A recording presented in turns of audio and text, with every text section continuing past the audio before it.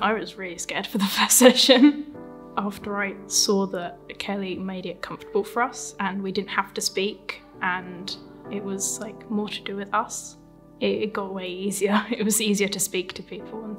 I would explain Mind and Body as a place where anyone can like be taught how to healthily deal with their emotions. They accept anyone from any kind of background and they really do seek to help. It offers a lot of alternatives to any kind of thoughts that you maybe have. So personally for me, I thought a lot about self-harm. We support people who are vulnerable to self-harming behaviours and by that we mean people who are either having thoughts and actions of self-harm or maybe they're just struggling with their well-being. So on the Mind and Body program, we do group work, and in those group sessions, we do lots of different activities. We talk about coping strategies, we talk about self-harm and the reasons for unhelpful coping behaviours, but we also talk about how we feel about ourselves and kind of practicing that positive thinking. The programme takes about four to six months to complete. It consists of three one to ones and eight group work sessions. One of the things that some young people will worry about is the group element of it.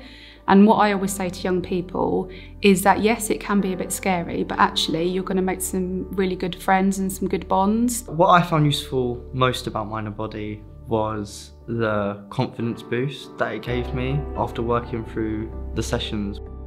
You get to look through like a lot of activities, exploring the way that you view yourself.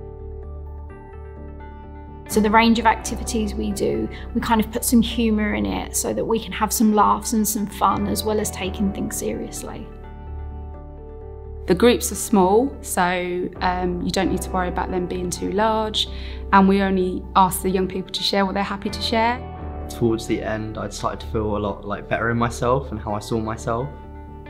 It told me a lot more than I was expecting it to. I would say someone that's coming onto the program that to like not be scared because there are people that are experiencing the same thing as you and no one judges you there. Our school projects are run with whole year groups at a time and anyone can be referred into the community pathway. Schools can get in touch to discuss delivery to one of their year groups. We also support parents and carers and offer training to professionals.